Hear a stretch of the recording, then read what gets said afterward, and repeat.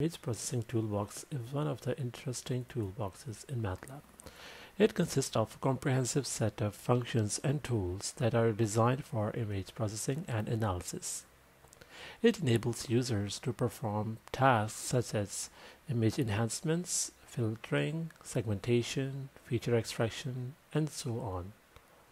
With a wide range of built-in functions and algorithms, the image processing toolbox facilitates both basic image manipulation and advanced techniques that are used in computer vision tasks right within the MATLAB environment. In this walkthrough tutorial, we demonstrate 10 basic image processing operations leveraging the power of the MATLAB toolbox. Like always, we start our script by cleaning the environment, so that's why we have to use the commands clear all close all in CLC followed by our first task. That is reading and displaying an image. So here we have we have taken an image peppers.png and we have named as image underscore name.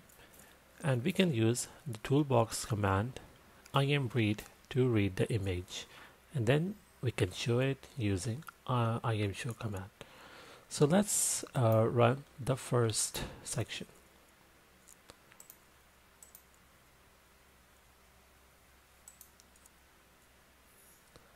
So here you see you can see that we have the image loaded in our environment.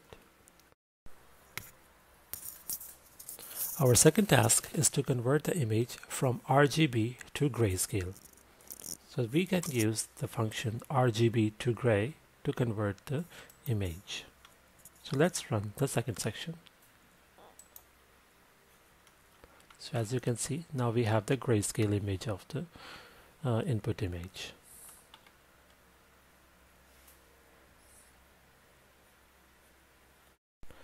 The third task involves the displaying of histogram.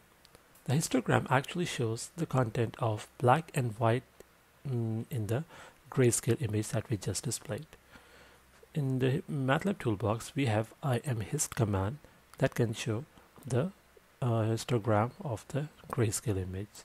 So let's run this section. So here you can see we have a color bar showing all the tones from black to white and we can see that we have more black content in the image and there are very less white spaces or white content in the image. That's why the white uh, portion of the spectrum has very less values. In task 4 we are going to rotate an image. So we have to specify the angle um, on which which we use to rotate the image. So here we are rotating the input image by an angle of 90 degrees so we can use the command im rotate to rotate the image. So you just have to be careful that the angle you specify should always be in degrees. So let's run this section. So here you can see now we have the 90 degree rotated version of the input image. In task 5 we are going to resize the image. So you have to specify the height and width. Here we are going to resize the image by 50% lesser size of the original mm, image. So here first we find what's the exact um, size of the image by using size command and then we are decreasing the actual height and weight by half and then we can use im resize command to um, resize the image and we will in the end we will display to see the final result let's run this section to see how it shows. So here you have seen that the original size of the image is 384 by 512 and that is reduced to half the size. There are various standards to represent an image from the classical RGB or the grayscale image and quite recently, there are other standards as well, where an image is represented in HSV, that is hue saturation value standard, or LAB standard where it is represented in terms of the brightness content in the image. So to uh, convert the image from one color space to another color space, uh, we can do this RGB to HSV command um, instance if you want to convert to HSV or if you you can see the MATLAB documentation to see uh, how you can convert from other color spaces. So just as to, uh, to demonstrate the function we are using RGB to HSV to demonstrate the color uh, space conversion process. So let's run the tasks uh, section and let's see how it displays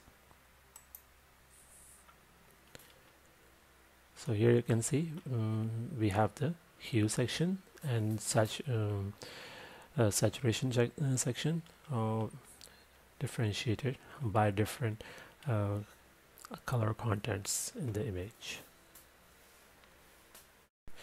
There are many applications where you know, one is interested to find the edges um, in the image. So uh, there are many edge detection algorithms so here we can use the uh, canny edge algorithm which is one of the best algorithms because it uh, determines both soft and hard edges in an image. Uh, other supported algorithms in the toolboxes are Sobel algorithm, Roberts, Near Canny, Zero Cross, Log, and Prewitt algorithms. Again, you can check out the documentation in the MATLAB um, to learn more about these techniques. So to demonstrate the edge detections um, capability of the toolbox, here we are using edge command and uh, together with the Canny algorithm uh, to see how Canny algorithm works uh, in detection the, detecting the edges. So let's run this section.